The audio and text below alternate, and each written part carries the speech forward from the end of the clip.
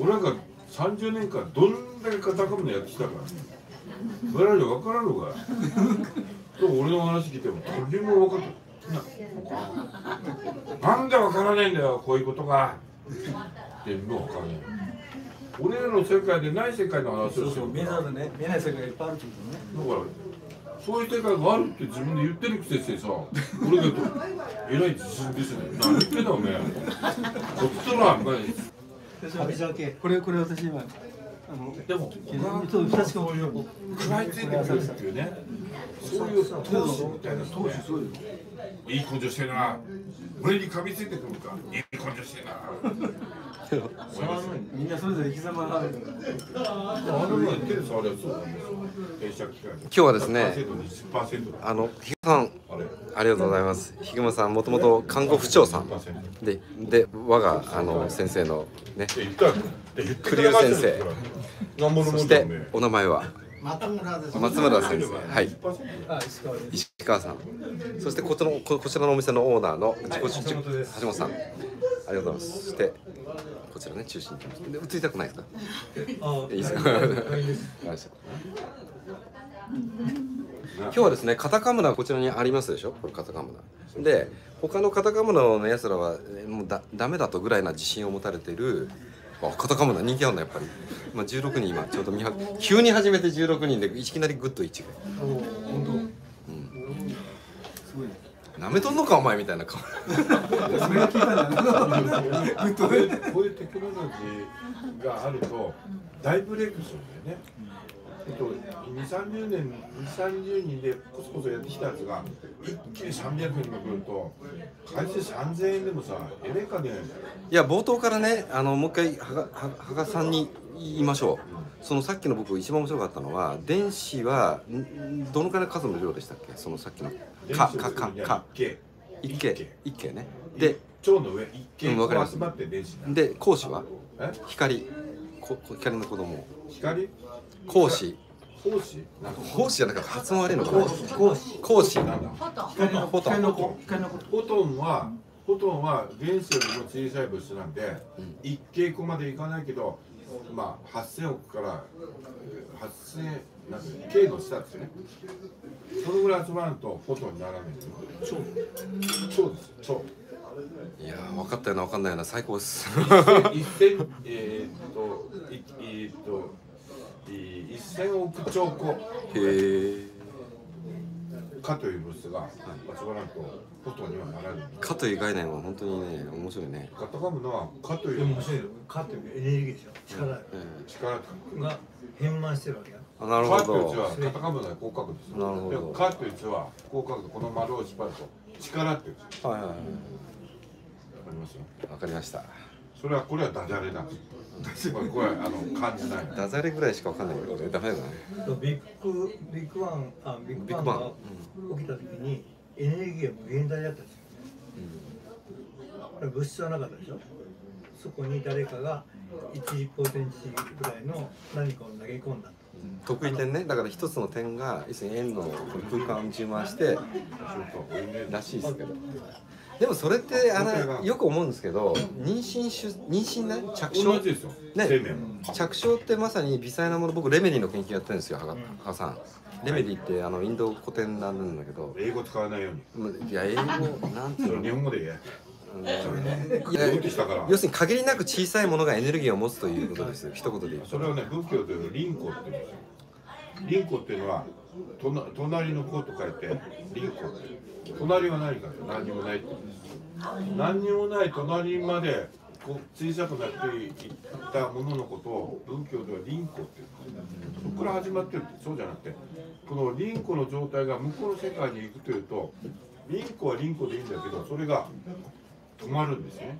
で止まってしまったらね復元してこないけども止まる前に静かな状態になる静かな状態っていうのは動いているか動いていないかわからんけど動いているっていう状態のことをカタカナではひふみよいのひという状態がね。うん静かな状態。あすいまあ、まあ、一番そう。じゃあ、じゃあ、その真上の火。それが火です。なるほど。これ今見てんなで負っていう状態はそれが動き始める。でみっていう状態は「か」が3つまあダジャレで「か」が3つで「神」って彼らがあそれダジャレだったんですか？これでダジャレですよ。あの頃はねダジャレとこじつけの世界。日本語っていうのはダジャレがいいよ日本語っていうのはねもともとがねダジャレとこじつけの世界なんですえー、だから落語があったり。笑いがあっていいですね。あ笑いっぱなし楽しい世界。なるほど。ムナカタカムナ時代は、ね、労働がないでしょ。労働がないわけだ。働かんばっていいでしょ、うん。どこに食べ物があってどこに台風が来てどこに全部わかるんで、楽しくてしょうがない、愉快でしょうがない。笑いの世界っていうカタカムナですよ。働かないんで暇でしょうがないからこんな言葉遊びいっぱいしてたで言葉遊びの中にものの物理性物理性をちゃんとこう入れて歌ったのがあの歌いっていう今80あるんですね。歌いじゃあ80全部選んだねえかっていうと80のうちの60はそういう感性がなくなった人がこれなんとかせんって思って作ったのがだから20万年前にそれができたとすると20万年前これボールド。その英語使ってる60個はそれから当時5万年から10万年後。20万20万年だからね。で今のカタカムナの通説でいくと、楢崎は、えー、と楢崎工芸さんね。はいはいはい。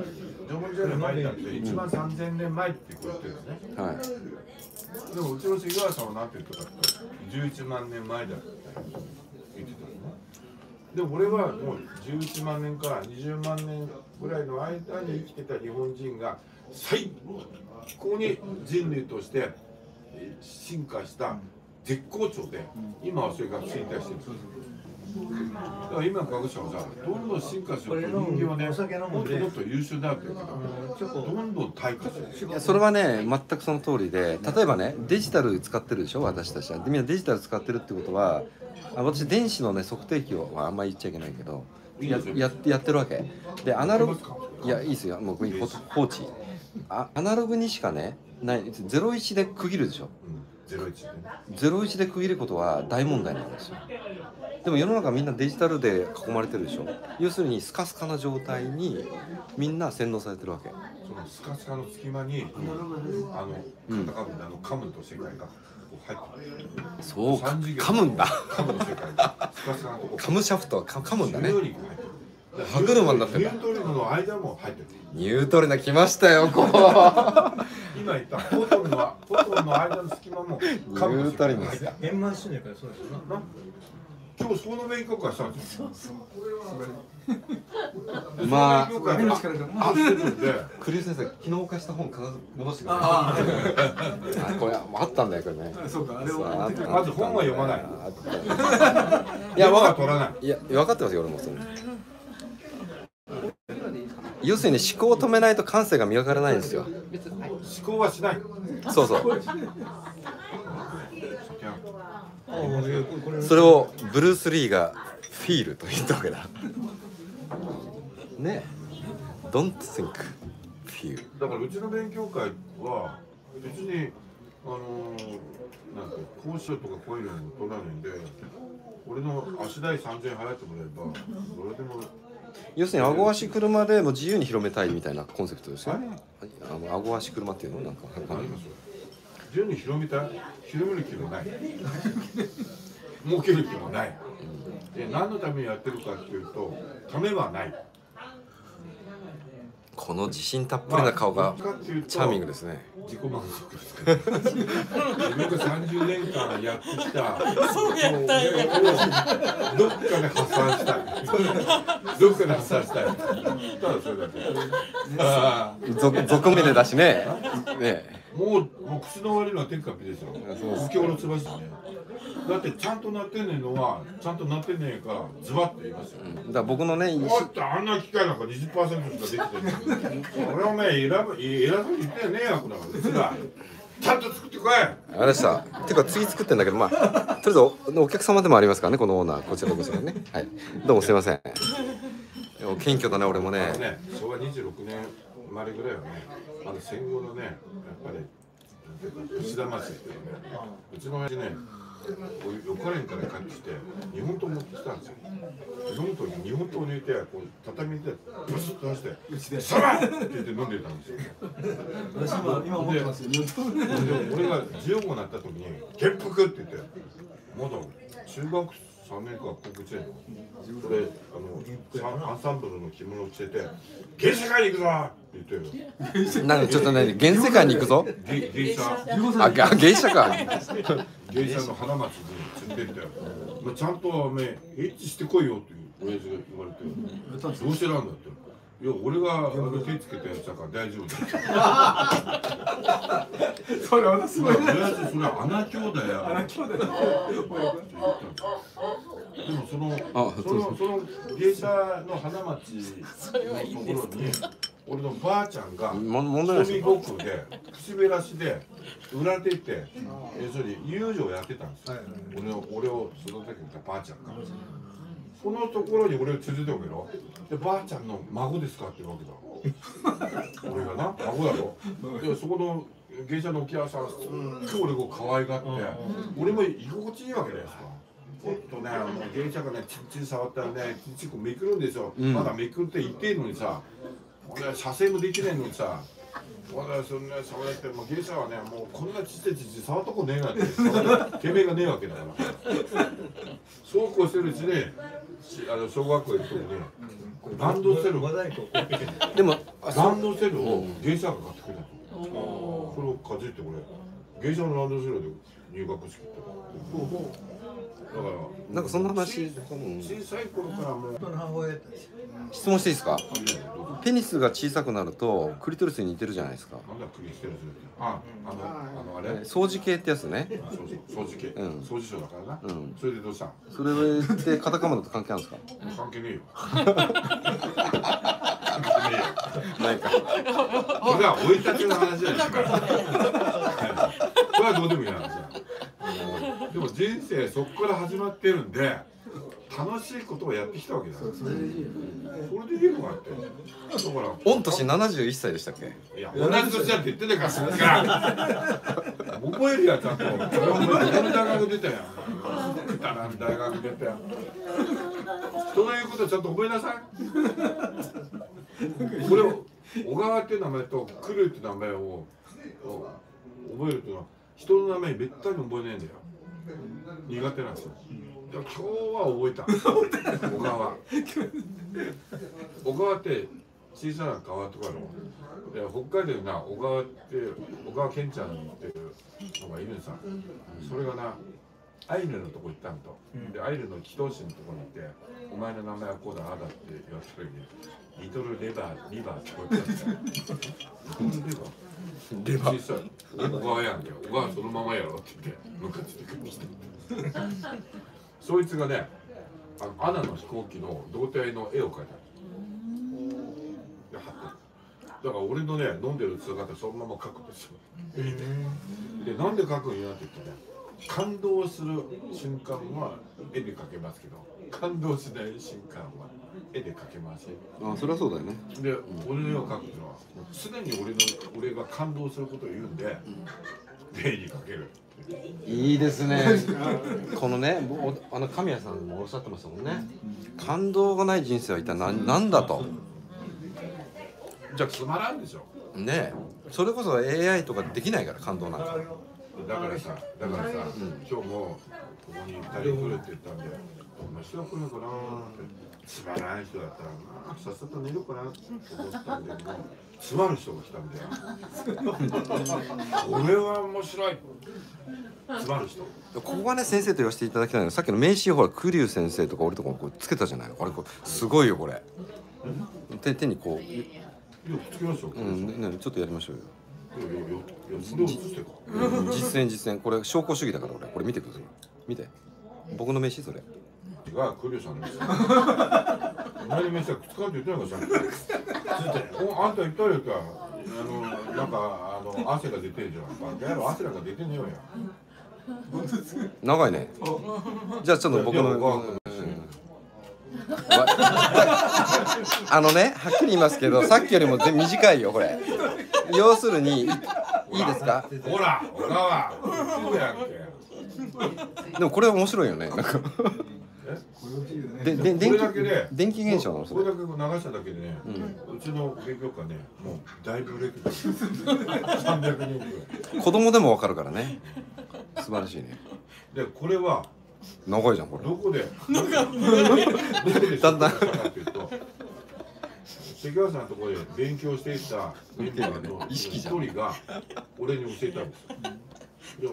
でそっちが俺の師匠なの師匠はクリスさん超えたよもこのこの紙をね指一本でこうつけ意識が作用してるんですよ。で俺はつかない。ん。で彼はこうやってくっつけると A4 じゃなくて新聞紙をくっつける。俺ちょっと素人だから試しにやってみよう。やってみろお前。やってみろお前。やってみろお前。これ絶対つかないねこれね。つくわけねえよお前の。だって乾いてんだからほら触ってみろお前。確かに湿度あでも湿度ちょっとあるけどいや湿度なお前の機械から見たら俺の精度がよっぽど精度高いわよあんなまあガラクタ売って何言ってんだよお前ちゃんとしたら作れまあ意見は反論は大切。でもね僕もねそのいつも怒ってないんですよ実は。こんなんでいいのかなっていつも思ってるんですよ。そうそうそれがいいんですよ、うんそういうひれ伏す心が大事だあそうなんだ。それの謙遜っていうんだよ謙遜してみてよ次はまたバージョンアップしよ 面白いね。ういや33人。クリさんぜひ俺の勉強会来てくださいもうまあ小川はとったパタラ来たら来なかった忙しいんでもうクリさんは暇なんで70になっち暇なんだよゃうもうねこういうのやめなさいもう終わってますよ経済はもう卒業してるんですよあじゃあいいんじゃないですか私引退して帰ってきてるけど自分で酒蔵をねえ？大豪邸に住んでますよもう。一人で。どこ？味見です味見ワイナリーのど真ん中です。あ初めて僕やえ？ワイナリー。あそこ会場にしたらどうですか？あいいね勉強会のね。どどこや初めて？どこで？あでもこれやうさうさ知らないじゃん俺ね最初に勉強会やったのがねそう。あそこ。近く姉さんとか俺は国民や。国見でやったんですよ武田で宇佐神宮に前に行った時にこの宇佐神宮は、まあ、とんでもねえバカなこと言ってるここ映ってる今。あれは宇佐神宮のあの拝殿のとこに最初の階段上がる手前に左に行くとこ。で左に行くとこに昔池があった。今干上がってる。あそこにね原始転換してる。んですよ原子原子変化電子転換？原子転換をする触媒はみんな酵素なんですよ微生物常温常圧で。要するに低温核融合をまあ微生物がやってるんですよあそこが宇佐神宮の宇佐神宮の本当の場所。あの羽賀さんね今の話に関連するけど僕えっと8 80代のお医者さんで今井先生って方がいて素晴らしいことを言ってたの。彼は過去にノーベル賞を取って無名なんだけど最終的にいろんな論文書いたけど1行で済むと。ゲノムと数えきれない菌である。ウイルスも含むね。これによって生命が成り立ってると。もう 1, 一行で済むでしょ。バランスね。だからそのゲノムというなんて言ってもデジタル的なというかそれこそメカニズムですよ。でゲノムは多分メカニズムで合ってますよ。仕組みだからね。そのメメあ仕組みにしましょう。仕組みでいいよね。でも数えきれないのこの菌は。これの共生によって人間は生かされていると。俺らのでも風邪嫌いな腸内細菌がバランスをつけて、俺らを生かしてるそうですね。彼らは生きないというと俺らから栄養もらえないので調整してるんだ、うん。そうですね。それと同じように土地も地場もそうですそうです。そうですそうです。そうです。そういうその微生物の原子化するんで、ものがもう木が倒れると跡形もなく消えていくっていうのはその微生物のおかげで向だから原子転換っていうんですよ。俺が小さい頃ねあの畑と見合ってたらこれために私はしたの自分で引き上げられないと自分で這い。上がれないでもそれだけね鍛えないものとねもう泥まみれになってすぐ過ごしてたんですよ。もう菌がいっぱいもう全部入ってる体にあそういうそういうことをね、カタカムナの歌いの中のフレーズではミトロ返しって言ってるんですよ。カタカムナ。ミトロ返しが通れて帰っていく。今みんな清潔にしすぎてるねそれのミトロ返しっていうね歌いがねあるんですよ。ミトロ返しかそう清潔トロ返しという歌いは第80番目。でもうそこから一番に帰るっていう。でしたね。いや3月11日。この私たちの世界にあるのは全部溶けて小さくなって小さくなってリンクまで行ってかという物質になってここに帰るっていうのをミトロ返しその途中の原始展開やってるのはみんな微生物だよっていう。虫って言ってるんですあいつら無無と死って言ってるそれを歌いの中でいいこと言ってんな。って思えるのは自分の感受性っていうか感性が食体語性高めていくと歌いが自然と何を言わんとするかっていうのが分かってくる。だからそれは理屈ではないんです。大切ですね。病気っていうのはやっぱ戦おうとするから起きるんじゃないかと思うんですよね、あ病気ね。うん、だからそれ病気は木の病ってそう言って。だからき本当に共にねそういうじゃあじ木はその木の正体は何かと今は人間が恨みつらみっていうエネルギーを第二次波動を出すそれが木です。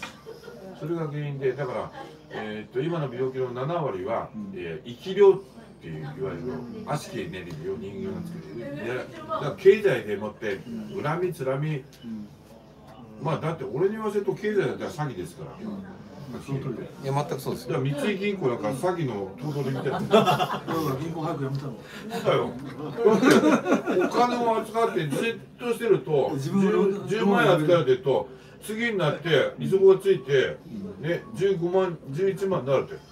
で借りる方はそのお金を借りていくというと1ヶ月借りると 10, 10万買ったのになんで10万貸したまでそれ詐欺でしょ。それを商法でここからここまでやっていいよって言ってっから銀行が成り立ってるけどもあんなもんは詐欺ですよ。こんなもんは人間の社会と自然界にはない仕組みですよユダヤの人たちが頭が経済の仕組みね。だからそれの恨みつらみが今極めように来てさっきクリスさんが言ったようにこれから大変な時代になるっていうのは生き量が跋扈する時代その生き量をどうやって中和するかっていうと向こうの世界から命のエネルギーを持ってきて人間が人間が作った生き量を人間が命のエネルギーを持ってきてそれに餌として与えることによって中和して向こうに、まあ、エネルギー消える中和ねいいことですね、うんだから俺はね焦点とかね向こうに返すんじゃなくて中和するって今言ってる。いや僕もコンセプト中和なんですよ。ね。干渉に対してどんだけ中今中和。今からそうかというにはねまだ早いおこがましいぞこんなまあ出来損ないの機械作って。るそれで怒らない俺が素敵でしょ？いや本当にあの謙虚なんですよ。怒らないお怒りをね自分で分かってるんだからこれでいいかなと思って出してるんですよいやでも結果出してますよね。いや結果は出ますよこれでも。十分。そんなまあ結果出ない機械って売れるわけないんですよ。ある程度は結果が出る。だ100%ではない。今ね僕ねそのい羽賀さんがおっしゃったようにさあの霊障だよね、まあ、どういう分かりやすく言うと病気の病気は何割ぐらい霊障化問題を7割です。いす素晴らしくて僕実はほら徳田といっぱい付き合ったんだよ。で2割は添加物です。あとの1割はいわゆる遺伝っていうか、過去にやったやつを DNA が染色体が持ってきて入るとどういう病気になるか。因縁です。その因縁をついてるやつを俺取るんだからえでこれちょっとちょっとまああの薬機法もあるんでちょっと難しいんで す薬機法って法律があってね要するにその医療効果を語ると罰せられるみたいな、半田さんと同じじゃん。うん、だからちょっと難しいんだけどそれは別に別にえ無料でやってますもんね。別にね。で別にさ、ん。俺はそういうことを治すためにカタカムナの研究してるんじゃなくてだから例えばね。カタカムナをやってたらそういうことが起きてきた。面白いですね。俺の周りに、うん。でそういう人がうちの勉強会来る。うん目が赤いどうしたの？だからね僕ね結構ねそのあのーまあ医療界でいうねドクターに質問するんですよ。患者の何パーセントぐらいがちょっと聞いてくださいね。聞く耳も持たなきゃ。何割ぐらいが霊障ですかって聞いた時に人によって2割とか最低限2割だったな。でも言わないんですよ患者には絶対に。言えないからそれは医者じゃねえんだよえ？2割っていうのは医者じゃないの。分かってない病気の。もえっと、5割超えてんじゃないかっていうドクターもいます。う7割です。だって心療内科がパンパンでしょ。新規患者受けられないほど心療内科あの心療内科行ったら全部生き量ですよ。霊障ですよ。病気なのかどうかなのかっていうことも曖昧ですよね正あ直言うとね。病気じゃねえんだようん。霊障ですうんそこはね100%だと思うんですよ。まあ飲みなさい。うつ病って名前つけたで病気病気なんです。そうそう。いやいやだから僕はいとこはねもう本当にどこも入るような精神疾患だったからもうなおさらリアルに分かるんだけど要するに霊障なんですよ。俺直してやるから俺が薬機法違反みたいな。ちょっとちょっとちょっとちょっと待ってくださいライブだから。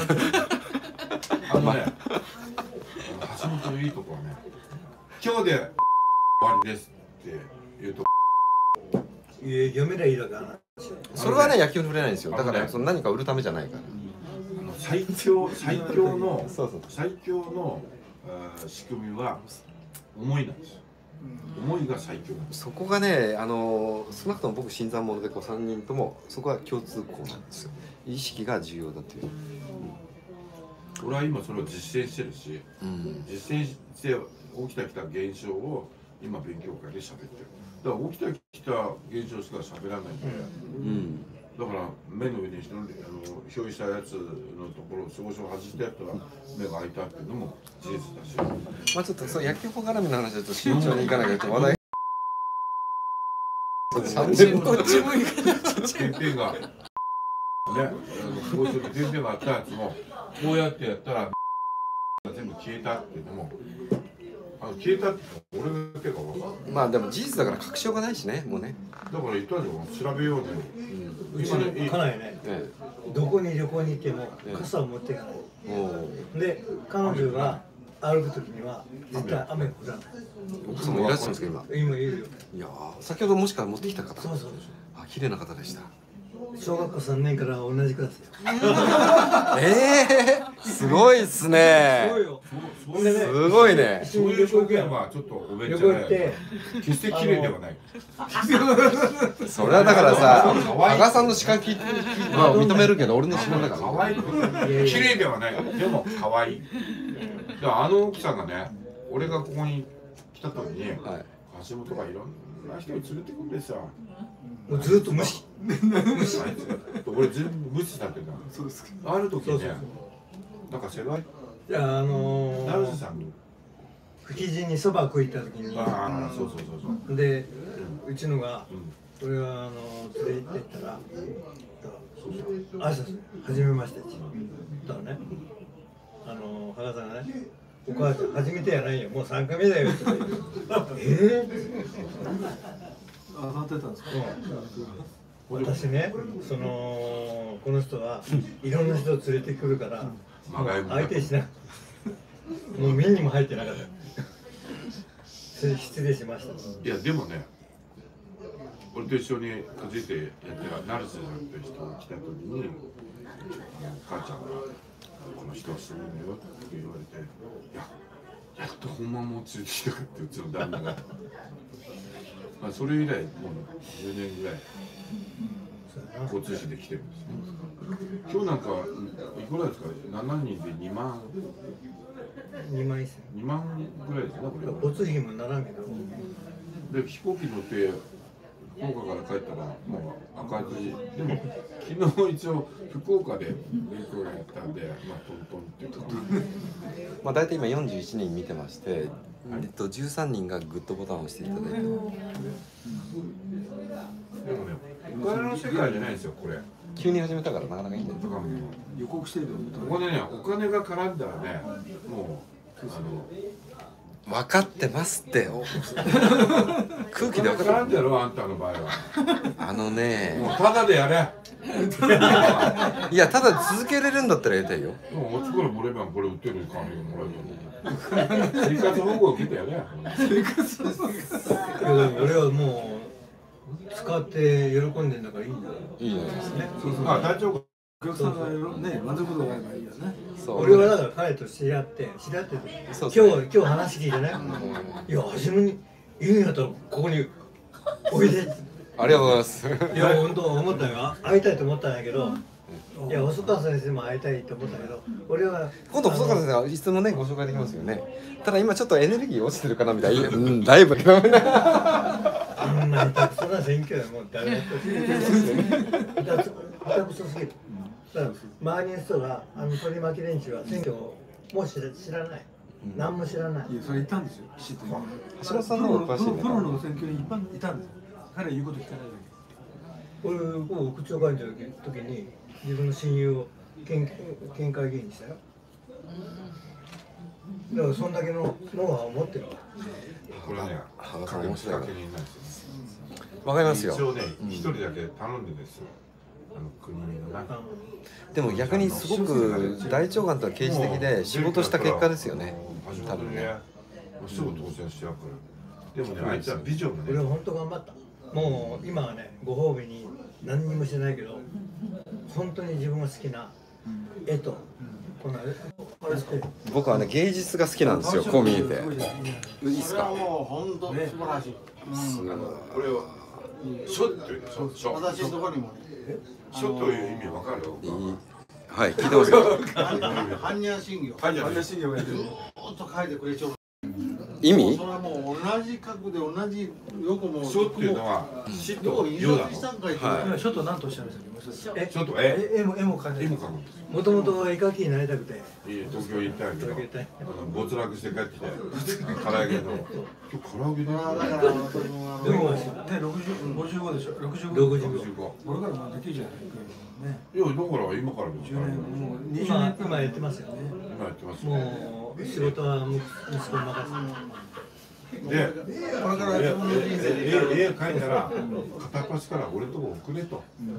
俺が画廊やっておく。から無名の絵描き涙が俺が出た泣いて泣いていや橋本さん最高だわ橋本さんねあのあのあの細川先生紹介してって言われたけど細川先生がねこれとちょっと関係あること言ったんですよ要するに閻魔大王がいたら質問は2つしかしませんとあなたは人生を楽しみましたかが1問目2つ目はあなたは人を楽しましましたか？それで地獄行きかどうか決めてるって。両方やりました。ね。あ私ねあのここ祭り作ったの。え？祭りを。祭り？とう。んまあここね2年ね、あのーコロナでできてないけど、今年まだ開通だから、うんうんうん。いい出会いだなでもな。小川うん君ありがとうございます。文化ってね日本人しかないかもしれもないう鼻っ端の強いのは大好きや自分を見てるみたいな。YouTube で、さえー俺はさ川えらいね自信ですよ。こっちは自然なんだよ。川船って調べたらできます。川村秋町。このコッパがコワッパでしょ？コッパコッパはコッパ言葉間違えてるコッパ橋を渡って向こうがものすごく威勢が強かったんですよ。ここは新町っていうようにあ新しくできた、ね島がみんな違ったみたいですね。もうあの後方にできたからもうバカにされたような感じだったんですよ。それが川舟っていうのはもう一番ちょっといい話してんじゃない？大きなここあの人がこう見てる見てます。よそれをに20そう会長くだらない話ねいやくだらない話みんなくだらないから楽しいんだよこれくだらない話が。向こうの町が。もう新町なんかお前たち。川舟祭り作ったんですか、いや入れちゃうか復活だっていうか。橋本さんいい男ですね。かっこいいななんか。だいぶこう見てたんですよ。あのキャッチレー橋本さんを映して。あごめんなさい。ここっちは録画してますから。後でごめんなさい。それで本当はねそういうことであのこっちこっちこっちはい。どっちですか？歴史。あごめんなさい。はいはい。3000年ぐらい前の歴史を語る、えー、堺語る、えー、堺教育科の講師だったんですよ。3000年ぐらい前の。講演会しよった。その講演会した。そいつが俺とこ来た時に、うん。3000年まだ若いね、うんうんそんな歴史語るんじゃまあまあ赤戸だわやって、うんうんうん。俺は11万年目に喋ってる。まずね先生あの視聴者からあの質問が来てるんだけどあのカタカムナの歴史どのくらいから始まってるんですかって。だから20万年前でしょ。あそうですか。それは何？歴史っていうのは、うん。20万年前にカタカムナっていうのが起きてその感性の豊かな時代はおそらく3万年か4万年しか続いてないんですよ。縄文時代も全然昔でしょ当たり前ですよ。縄文なんかもうつい最近ですよあの。うんでそういうのはなんで遺跡が出ないかというと、カタカムナの人とはさっき言ったミトロ返しっていう能力なんで全部遺跡は返す。返すあミトロ返すね。ミトロ返すだ。から要要するに今で言うまあこっちの世界で言ったら全部元素に戻す。うん人間が死ぬと、あの今ダビデして骨をダビね。うん。骨を取って、うん。こう、まあ、墓に入れるじゃないですか。先祖供養供養という。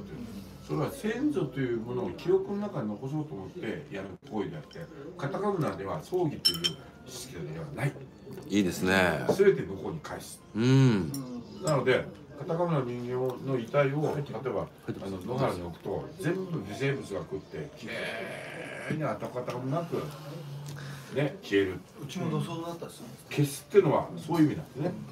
あ栗先生とど消えてなるあいいでですもねね最近のね遺体をね置くでしょ骨だけ残るんですよ。なぜかというと骨の中に添加物が入ってる。からそれね微生物ね食ったことないんだよな。食わ食わないんじゃない70%がその意識であり20%がその化学薬品のね。病気の原因の7割は霊障2割は添加物。1割はいわゆる因縁といって、まあ、いわゆる遺伝とか昔なんか起きたことを凝縮して食べた人が発病するのを。確かに因縁と遺伝となんか言葉が似てるよね。酔っ払うなよねもっとちゃんと言え。えカタカムナってどうやって終わったんですか？カタカムナの時代ってどうやって終わっていった終わった。っていうのはね人間の人間が人間だけの生活をしていた。というように要するに耕したり物を作ったりしてるでしょ。めっちゃうまいですよこの唐揚げ。そういうのもねびっくりした。自然の中ではありえねえ個々のでそうやって別に豊かになって便利になっていったからそういう能力は使わなくてよくなったそうと使わないと退化するんですよで障害が固まっていった。それで推定するここのあれですよね看板で今はもう推定の極までいってる。本当だ。消化消化分かった。い博多弁でね。消化体略してあ消化大変。この唐揚げね絶品なんです。よめっちゃうまいですねこの唐揚げを食うためにこの店行くんや。これはすごいですね。まあガンガン食ってよ小川君はい。俺毎日食ってるからあの一個クリ一さんどうぞ。どうぞ。いや俺はもう卵とか。俺ね飲むと食わないです。いやそうそうですね。明日ね6時に出発して長崎に行くんですよ。長さで原爆投下のここのとこに行って、俺が歌いを上げる響きを出す、で魂の供養です。だからまさにカタカムナっていうのは英語のあ日本語のルーツみたいな世界でしょ？まああの言ってみればこれがうん。ヒューミョイがうん。あ言ってね衰退して何万年か後に、うん。まあ日本人がそれを受け入れてる、あの九州に阿蘇って山あるでしょ、あれはカタカムナでも阿蘇って言ったんですよ。同じなんですか？それはどういう意味かというと「あ」っていうのはエネルギー。高いエネルギー「そ」は外に出る。外に外に出るっていう意味で「あ」が外に出るっていう意味でカタカムナ人は火山のことを阿蘇はだから阿蘇があればいいわけですよいへあ全部朝なんですねそういうことをね、あ、そうって言う。小川反応して。あそうハローあ、そう。これダジャレなの。うん反応しないの今。唐揚げうますうますぎてだから、食ってるとこだけで、食ってるとこだけで神経いくんじゃねえよ、お前。ちょっと聞け。あのね同時進行すると薄まるんですよ。あのねじゃない。あのねのねは歌ないで。あのねのねって何？歌だの。あー言いましたねアーティストでね。赤とあのね言うなあっけどんな酒？いやこうしてねハルさんと。これはこういう映像の中でしか知らないだけど飯津で会いたいなってずっと思っていや嬉しいですよあ橋本さん。春さんっていや小川ですよ小川でそのしかも遺恨遺恨があってなんか振られたんでしょ？小川春と。春はよくねわかりやす。いねようちゃんでしょうか？ようちゃんですよ。うちゃんですよ。あのね俺ひろしってね。ひろしそしたらねえ下見にお前ひろしかなら俺をこうちゃんって呼ぼうずっとこうちゃんって カタカムナの T シャツ買いたいんですけどどこで売ってますかって先生売ってますかそんなの？それはあのあのせ丸山さんまあ丸山先生か。やるわけねえよそんな。そうか。無礼者って言ってると言った通りです。よほとんどが使うものなんだほとんどが思いが違うカタカムナのカタカムナの音の世界っていうの知ってないのあの人。でもあのミスマルの玉とか言ってるじゃないですか。第七章。いいなあ。今度僕丸山先生もちょっとディベートしたいねこれね。わかんないからさ。彼の歌知ってる？丸山さん？歌ってるの？歌ってるのか語ってるのか滑ってるのか分かんない。要するにレ歌いがないよねあれは丸山先生のね稼働グッズってレごめんなさい営業妨害でも何でもないけど正直ね僕実験主義でしょ？劣化しちゃうのよ。で曲線ってあって曲線っていうのは回転がある以上方向があるでしょ？こう方向逆方向に行ってることが結構あるんですよ向こうの世界は方向はない。どういうこと？あまあそうだろうね。現在過去未来がなければ方向ないもんねまあ僕ね最近ボイシーっていうねインターネットラジオからやるんですけどボイシーで言おうと思ってるんですけど皆さん時空を超えた世界を全員経験してるんですよ。夢で。夢で見ると死人も出てきます。ね。みんな見てるじゃない夢で。そうですよね。リアルでしょ皆さん。全然受けなかったです てかからから唐揚げでお前のヘリクスじゃなくてから。ちょっと久しぶりに。評価が出な揚げに。ごめんさごめんさなんでこのあ青青に。さ違ってんのだからここで細川先生のとこ行ったら、こいつが言ったんですか彼が自宅でねマンションでね一緒に。いたわけそこからそこから私がちょっといろんなこと話した時に小川さんが少し興味持ってくれたわけですよね。そうそうあ小川君がクリュウさんのことに興味を持ったってこと。まあそうですね。正直言うとそうですねそれでそのででもクリュウさんはちゃんと僕のあのねイカレポンチ機械を買っていただきました。これね。イカレポンチ機械ね。イカレポンチで。で本人もね分かってるんですよ。でもこういうね。そういうのねズバッと言われたら向かってくるんですよね。別に向かってこないですよ俺は来ますよ20%と言われて向俺はかってこ感情で左右される部分が大きいからされない部分も大切にしてますよ。で半田さんが作った作ったこの SS の水も100%だねって言う言うんですよ。なぜかというとあんなげ3次元で作ったセラミックスを通して水がねロックするわけねえべ。うんまあもと人間はもともと3次元で作られてないですからね当たり前ですけどね。それはどこで作ってもいいんですよじゃあさ質問するけど、いどうぞ。ねえー、か臨戦態勢みたいなウクライナと中国いいですね。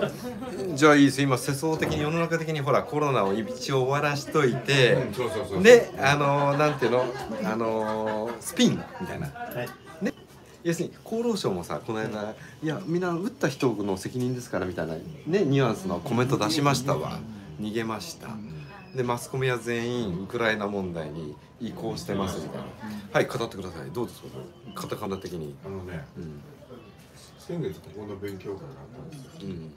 その夜にホテルで泊まったんですねだからね敬語になってるし。寒かったんで